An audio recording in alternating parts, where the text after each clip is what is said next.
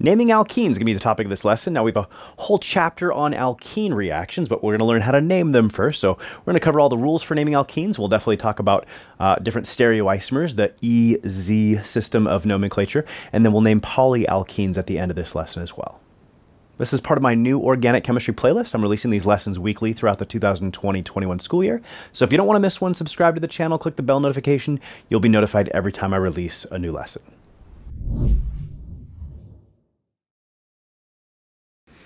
All right, so naming alkenes, and just a reminder, alkenes have a carbon-carbon double bond somewhere in the structure, and if you notice this top one does not have a carbon-carbon double bond yet, I will add it in in a sec, but if you are going to name this as an alkane, just as a review, so it's got one, two, three, four, five, six, seven carbons, and that would simply be heptane.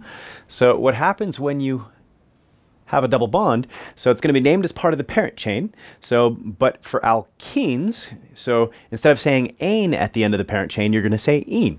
And so instead of heptane, this is going to be heptene. So, but it turns out that is not sufficient.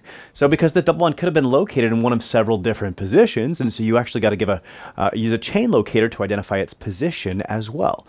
And so in this case, you find your longest continuous chain that contains the carbon-carbon double bond. Usually it's your longest continuous carbon chain overall, but that doesn't necessarily have to be the case here. You want specifically the longest continuous carbon chain that your alkene is a part of. So, all right, then you want to number it in such a way to give it the lowest possible number. So here, one, two, three, four, five, six, and seven.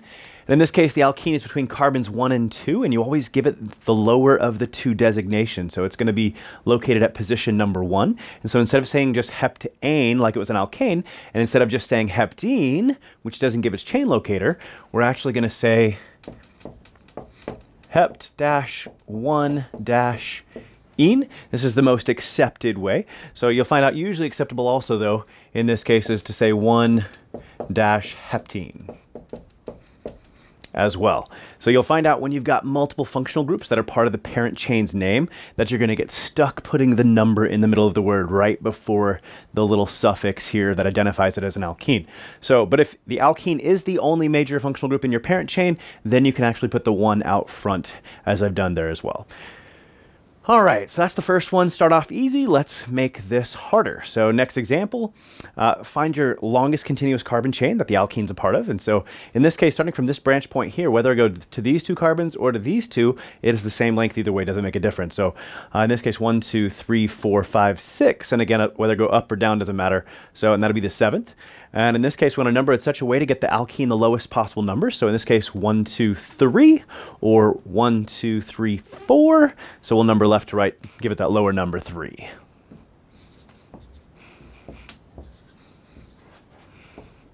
Cool, and then we start this out just the same way we name alkanes, and you name all the substituents first. And so in this case, what's not part of that parent chain? Well, we have got an ethyl group right here on, attached at carbon 3, and then we've got a methyl group down here attached at carbon 6. And you name all your substituents in alphabetical order, so we'll name the ethyl first. And so in this case, we will say...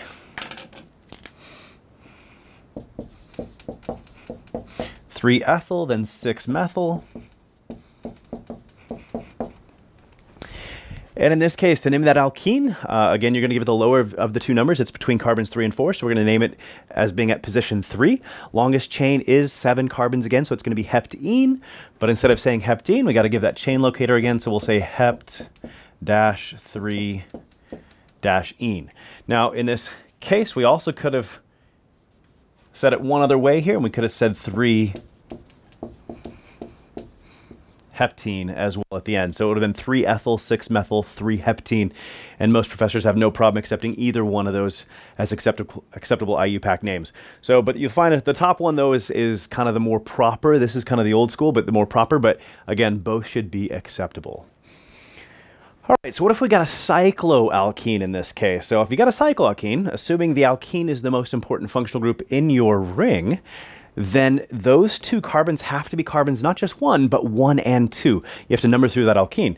And so the question then becomes, do I want to say like one and two, or do I want to go one and two?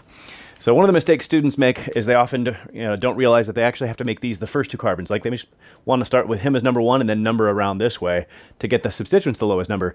But it's both carbons of the alkenes that have to get the lowest numbers, uh, and that's why you get a number through. So, but in this case, uh, whether it's one and two or one and two makes no difference as far as the alkene goes, but it will make a big difference for our substituents. And so in this case, we'll, we're going to number this around clockwise, as we did in red here. So one, two, three, four, 5, and 6. And we will name this uh, the substituents first again, so 3,3-dimethyl.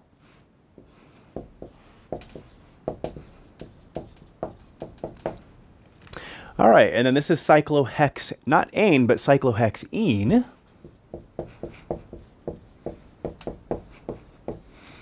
So, and what you'll find here, though, is that if you're naming it cyclohexene as your parent chain, well, then the alkene is the only functional group in that parent chain, and therefore, by definition, in a ring, it would have had to been between carbons 1 and 2 and been at position 1. And when that's the case, when it's cyclic, like notice we didn't, this wasn't the case when it was on an open chain. When it was at position 1, we had to include it as part of the name. But when it's in, uh, in a ring here, you don't include it as part of the ring. It's totally implied. So no chain locator. It's not that those chain, later, uh, chain locator is needed. It's that you don't put it in. If you put it in there, you might lose half a point on something like this. All right, so now let's talk about stereoisomers.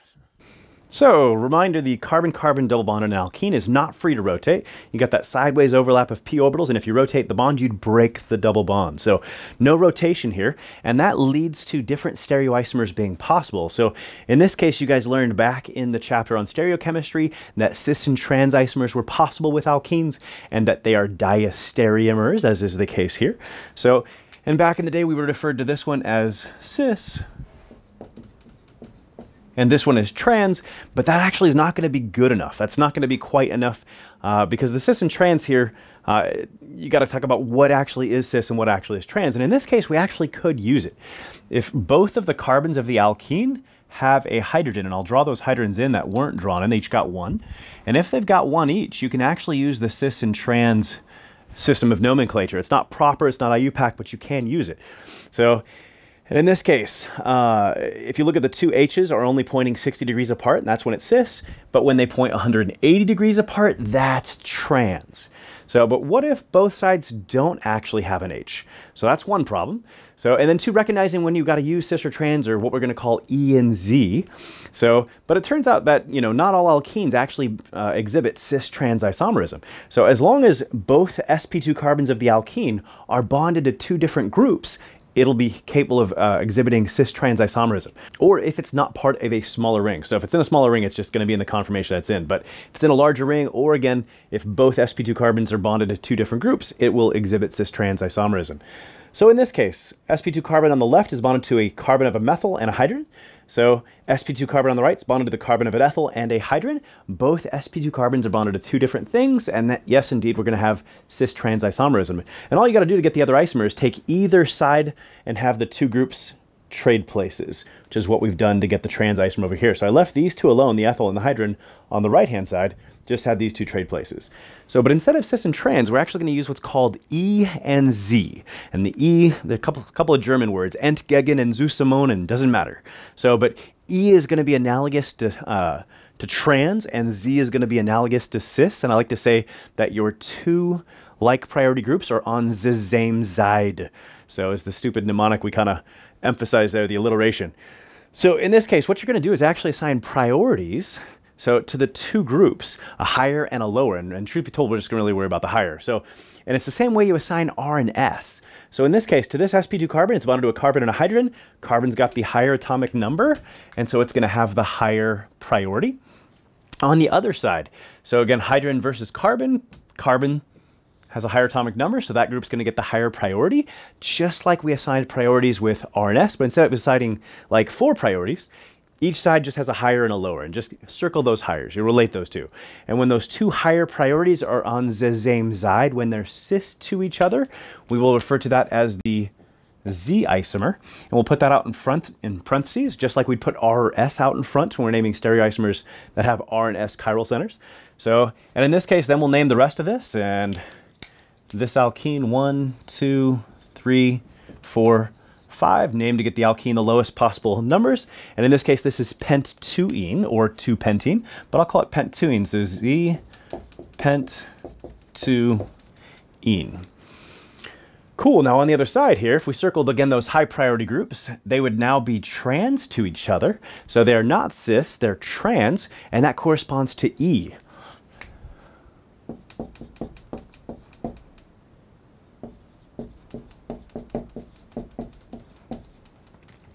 Cool. So, and that's how the nomenclature kind of works with E and Z. So one, you got to kind of, you know, drug up those Cahn-Ingold-Prelog rules for assigning priorities and then relate your two higher priority groups. If they're only 60 degrees apart, that's going to be cis, which now corresponds to Z as the proper IUPAC name. And if they're 180 degrees apart, which was trans, that's going to correspond to E as part of the IUPAC name.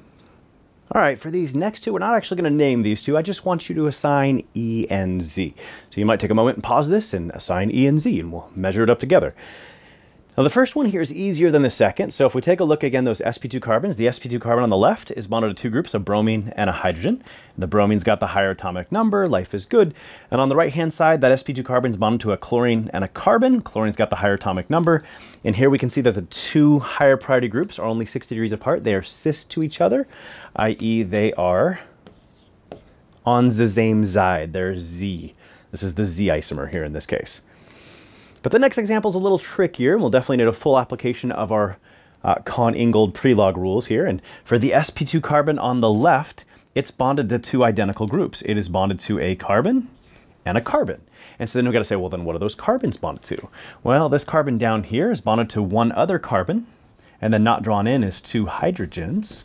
So and this carbon up here is bonded to a fluorine, and then two hydrogens that are not drawn in. And so the first place where they're different is comparing carbon to fluorine. Fluorine's got the higher atomic number, and so this is the higher priority on the left-hand side. And then your right-hand sp2 carbon is also bonded to two carbons. So there's a tie. So we go further, and this carbon down here is bonded to three H's that are not drawn in, whereas this one over here is bonded to two carbons and a hydrogen. We can see the first point where it's different. Carbon's going to beat hydrogen, and so this will be the higher priority group. And now we can see the two higher priority groups, again, only 0.60 degrees apart. They're cis to each other. And once again, this would be a Z isomer as well. Cool, takes a little practice, work several examples, but should be fairly reminiscent of what you did with RNS. All right, for our last example here, we're going to name a polyalkane. And when you've got a polyalkane, you want to find your longest continuous carbon chain that contains all of the alkenes if possible. It's not always possible, but as many as possible is the case here. And so in this case, we will get a longest carbon chain that does indeed contain all of the alkenes. And so in this case, it'll be three alkenes, and we'll call that a triene. So and that's going to be part of the parent name. So it turns out with just one alkene, you might, look in this case, one, two, three, four, five, six, seven, eight, nine. So nonane becomes nonene for a single alkene. So, but if you had two alkenes, it would be non-diene.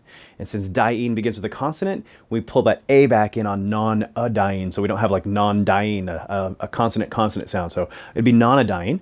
And with three of them here, it's going to be non-triene for the parent name. And again, we will have to include those chain locators as well.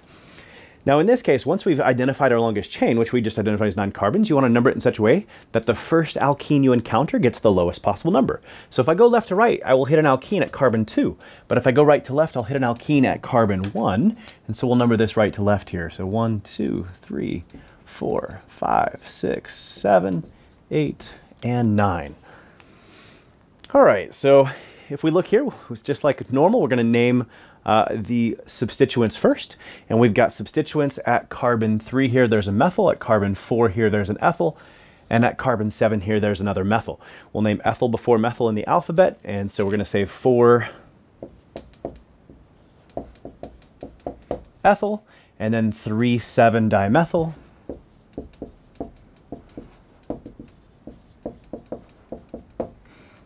All right, now the fun.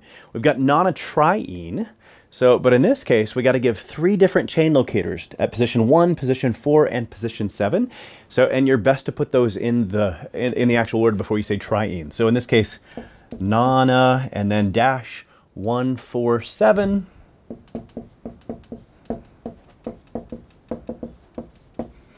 triene. Cool, but that is not a sufficient name as well. And one thing you should get in the habit of doing whenever you name an alkene is you should check for stereoisomers. Are cis and trans or E and Z possible? And in this case, it's not always possible. And like uh, we mentioned this before, and we didn't kind of point it out explicitly, but the first few examples we gave, if you go back and look at them, so they're either inside a small ring like a six-membered ring, which you can't have uh, different isomers in that case. So it's not enough sterically enough room for that to be possible.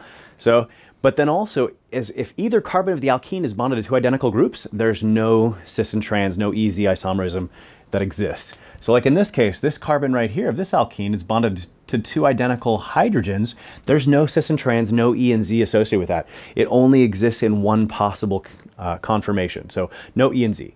So, but this one right here, this carbon 4, this sp2 carbon is bonded to two different carbons, and they're definitely different. They're not, not equivalent at all.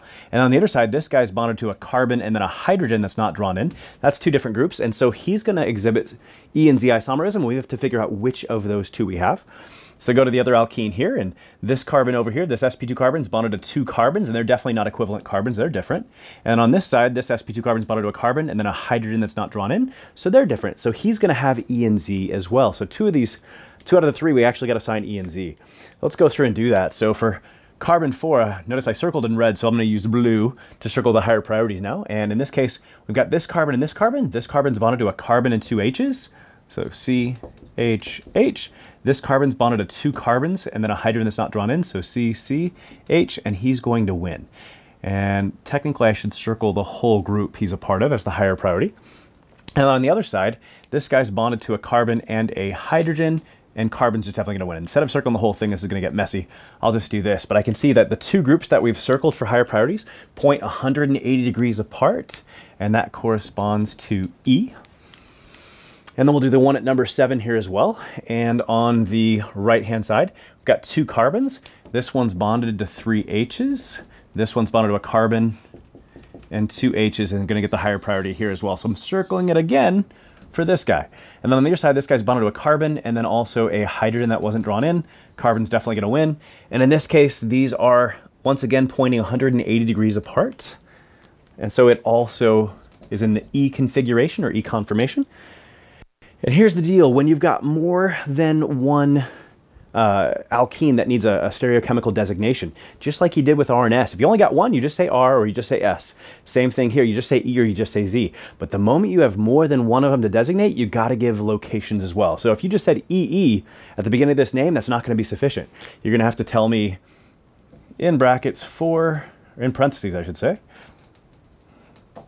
for E 7E in parentheses dash 4-ethyl 3,7-dimethyl nona 147 triene. It is a mouthful. So, but this is how we name polyalkenes. And once again, if you have more than one E or Z designation, you got to include the numbers at the beginning as well. If you have found this lesson helpful, would you consider giving me a like and a share? Or if you just feel sorry for short bald guys, please consider giving me a like and a share. One of the best things you can do to help support the channel. If you were looking for the study guide that goes with this lesson, or if you're looking for practice problems on naming alkenes or any of the alkene reactions that you're to learn in this chapter, check out my premium course on chadsprep.com.